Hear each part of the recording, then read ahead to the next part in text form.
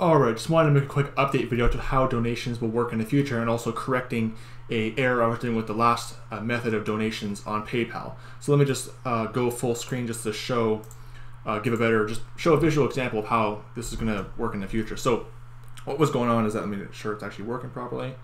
Uh, anyway, so what was happening last time for the past almost two years now is that my donation system, it was uh, PayPal uh, slash PayPal me slash faithful servants 1611. And what was going on is that it would, this page would come up when you click on it.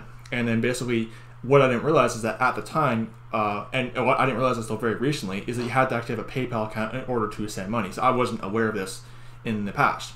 So I've since changed that because I realized you can actually make what's called, you can do this donation button system with the uh, PayPal website and with the PayPal app or, or the website I was using, I'll put it that way and this is not scripted by the way this is just me talking.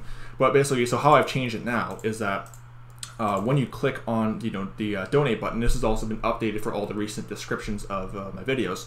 When you click on it now because this option right here is very limited like all you can do is you have to have a paypal like no other option. So i changed it to where uh, this page will come up. So when you click on the donation button this page comes up and it gives you the option to either send a uh, specific amount each time or you can do a monthly contribution and it also gives you uh, more more open type of options to where instead of only being able to have a PayPal, you also can use your PayPal, but you can also use a debit or credit card too. So I wasn't aware of this beforehand. It wasn't until like about a few days ago that I actually discovered this.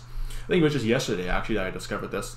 But uh, this is how it will work in the future. So instead of just this coming up, when you click on the donate button, you can there's more options on how to how to contribute if you feel you know, if you feel like you want to. I mean, it's always uh, I put feel free to donate in the description because if you want to, hey, feel free to do so, but it's never pressured on you like some of these uh, YouTube guys will try to do. But basically, like I said, you can send a specific amount. You can do a monthly contribution, or you can do PayPal, or with your debit card. So just and credit card too. So just wanted to give that update on how the thing, thing will work in the future. Uh, it was an error on my part. I wasn't totally aware of how to use PayPal, so I just kind of just figured I'll just use that because I just googled how to set up donations on PayPal. Uh, so that's how it's going to work in the future. Uh, the again, like I said, the links have been changed. So I just wanted to give that quick update. Um, in the grace of our Lord Jesus Christ be with all the brethren. Goodbye.